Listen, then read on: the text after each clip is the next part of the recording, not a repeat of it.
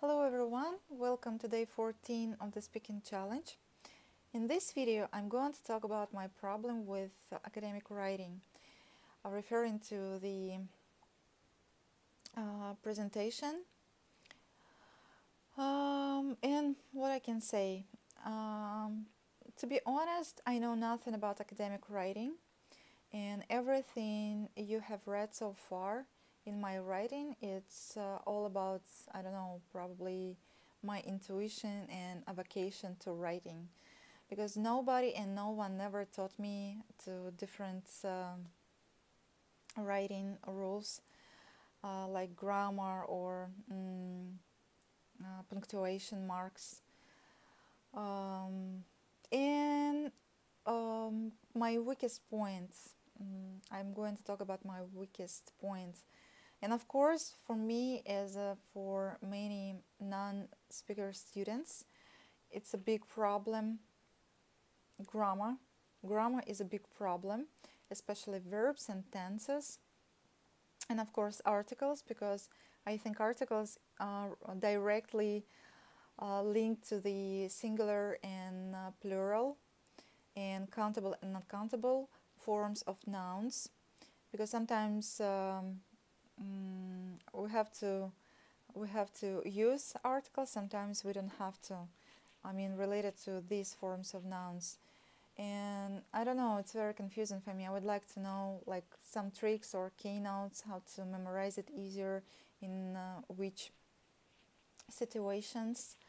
Uh, I have to use those articles and or I don't have to use them at all and of course, prepositions. For me, as a Russian uh, speaker, it's a big, big problem because in Russian, it's like with um, tenses, we have just uh, three tenses, uh, like um, past, uh, then present, and future, just three.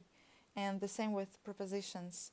And for me, it's very confusing, for example, to understand in which um, context I have to use uh, for or um, for example to and with. Because for for me it's just one preposition. Or for example of and about. For me it's just one preposition. Uh, in which uh, context I have to say for example I think of or I, I think about.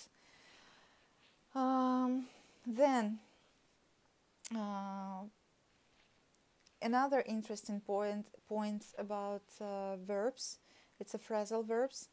Uh, because as I know in academic writing it's prohibited completely to use phrasal verbs.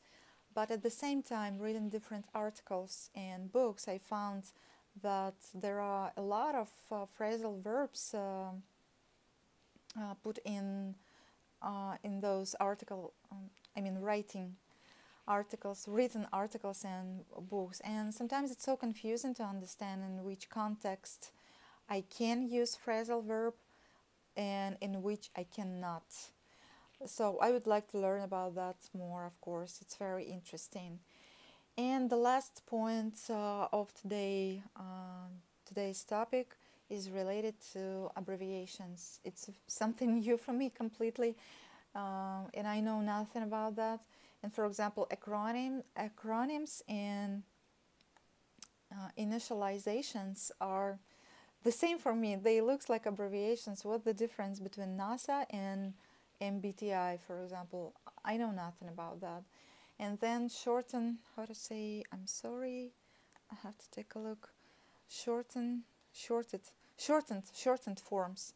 I, I, I know nothing, absolutely nothing about that and I would like to um, know and learn more about it. I think um, it will be really helpful for my academic writing because I would like to try uh, to challenge myself uh, in this field as well.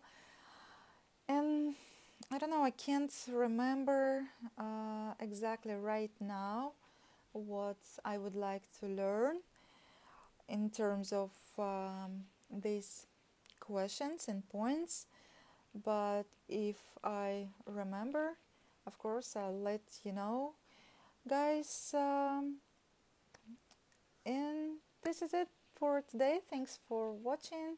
Have a nice day, everyone. See you tomorrow. Bye bye.